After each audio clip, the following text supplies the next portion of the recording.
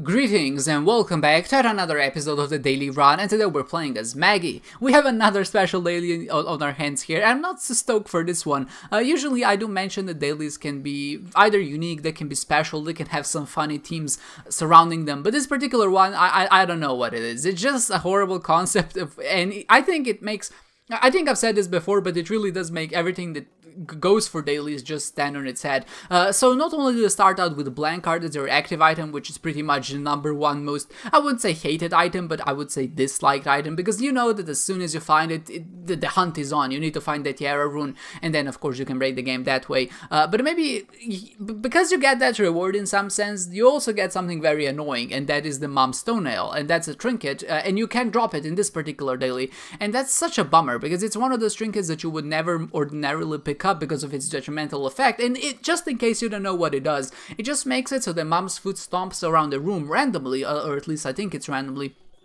at random positions, and it also has a chance to hit you as well. And of course, this is extremely bad in dailies because that damage penalty is just gonna stack up, and it does do a full heart of damage and not only just a half. So you're kind of stuck in a position where there's nothing much you can do about it. You just have to accept that you're gonna get hit a few times, and you can never really be at low health, and you can't really have that risky play. Thankfully, at least in that regard, we are we do have enough health so we can actually sustain ourselves, even if it does hit us maybe once or twice. Uh, there is it is dodgeable in some sense because you can see the shadow creeping up on you and then of course the mom's foot drops. But the problem is that you always have to be vigilant about it. There's no not a moment that you can just say okay this is just a random shadow. I don't really have to focus. And for that reason what what happened to me at least uh, is i tried to be very very of, of the shadows. And whenever i saw a shadow i immediately twitched and ran in the other direction. And of course in that sense uh, that's not too good as well because i think i was kind of panicking in some situations. And i maybe mi misconstrued some other shadows which i felt like were the mom's foot shadows, uh, something else, and then I just ran directly into mom's foot. And that's such a bummer, but I guess it also does teach you, or at least it makes you play in a bit of a different way, in a much more scaredy cat way.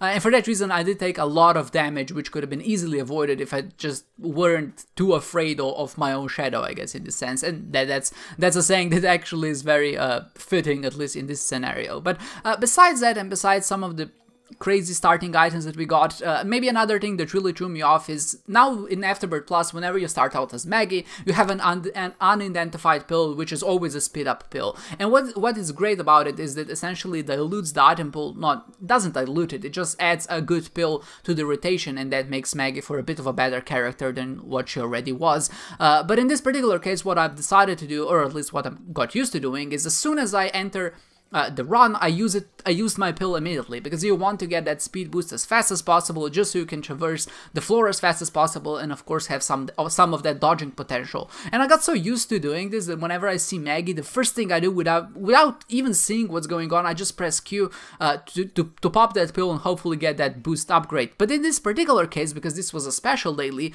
uh, we actually didn't start out with a pill. We also had it, but we started out with a card, and I think it was a High Priestess. So what ended up happening is instead of me getting the speed up pill, which I thought was was gonna happen, uh, I got a mom's food on my face just just as a hello to, to the start of the run, and it's such a bummer because I feel like it was really unwarranted. I know it's my fault, obviously I could have waited for two seconds to see if anything is different or unusual, but, but at the same time, you know, it's muscle memory and you really can't get rid of that. Even if you know that you shouldn't do something, sometimes you just end up doing them anyway. You don't really expect a special daily on the second of the month, and even if it was, you don't expect it to replace your uh, pill with, with a card, which usually just never occurs. There's really no not benefit to not using your pill as fast as possible, so for that reason, I felt like I was punished even a bit more than I maybe should have been, but that's really not nor here nor there. Uh, besides that, this run was actually pretty decent in all regards. I mean, it was a very weak run and a very annoying one, just because I, I did take a lot of unnecessary damage, and we also got that experimental treatment pill, which put our tear delay at 15 instead of 10, so that was kind of a bummer. But at least our damage was pretty decent, and the most decent, I mean, the most I have attribute to that uh, is Cricket's Head, which is an item that I found pretty early on because I did do some of the ballsy plays uh, to get into the boss trap room, and thankfully one of the golden chests did contain the keys to the kingdom, so to say. And later on, we also got some damaging items like Abaddon, we got uh, the Sin Robes, uh, and we also got uh, something else, the Pentagram, I think. And all of those did, of course, contribute to it. Thankfully, later on, we also did get torn photos, so our tear delay wasn't too, too trash, but I still wasn't really able to focus my tears to deal uh, to too significant amount of damage. At least, or at least one decision that I make made, which I felt like was the right one. I dropped my blank card, and that is something that you never really want to do on dailies, just because of the potential and just really how many things you can do with that item. And I swapped it for for the blue candle, and I feel like the candles are being a bit misrepresented in uh, the whole scheme of things, just because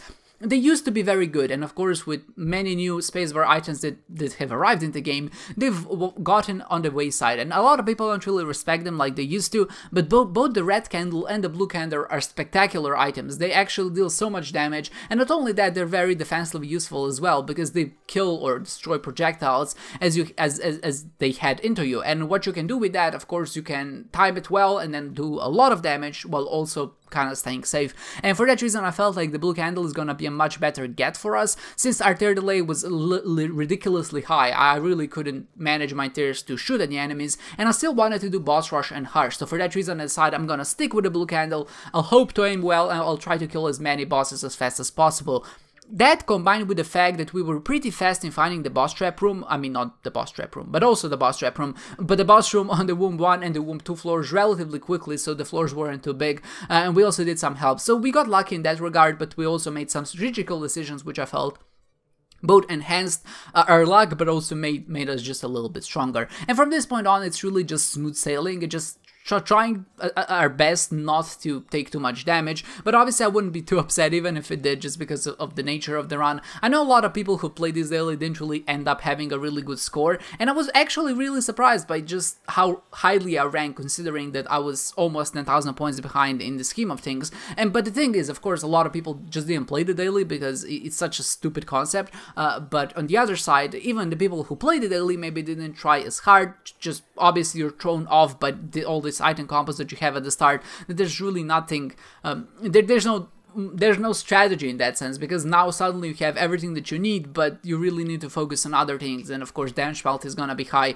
uh, just because of Mom's toenail. So really, what else is, is there that you can do? But still, considering all of that, uh, I still managed to get something like 40,000 points in the end, which I would consider low. I would say maybe 45, 46,000 is okay, decent, and then anything above that is already high. But 40,000 is definitely low. So for me to still rank in the top 50 or maybe even in the top 20 when I actually finish the daily, uh, with that abysmal score was surprising, and I, I guess that is a testament just to how bad this run was. And that is always good to know.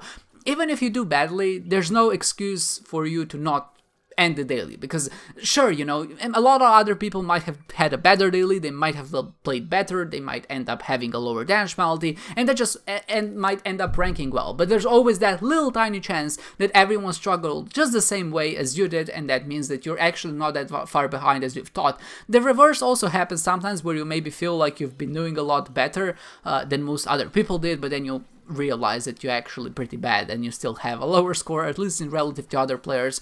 Uh, so, but, but there, there's both sides of the equation. But this particular daily, I feel definitely was a bit on the harder side. And everyone who did get to the end, especially if you did do boss rush and Hush, uh, you're warranted to rank pretty well. Uh, I, I mean, there's always things that you can do to, to kind of increase your score or maybe reduce or, or I would say reduce uh, you, the reduction that you're gonna get from the score mainly damage penalty obviously but sometimes a daily is just gonna come that's gonna kick your ass and there's nothing you can do about it. Uh, and the, the most you can do is just hope that it kicked other people's ass as well. And it's always exciting because to me whenever I finish a bad daily even if other people did better there's always that sense of pride. I got to the end. Some people quit at the start because they were like, I'm not playing this one. So there's always that bragging right that at least, if not anything else, I managed to get to the end. I managed to beat Boss Rush, I managed to beat Hush, and I'm now sitting in a relatively close spot. And of course, I'm hoping that the next one will be a lot better. Uh, but definitely the MVP of this particular run was the Blue Candle, just for its offensive punch, and you can see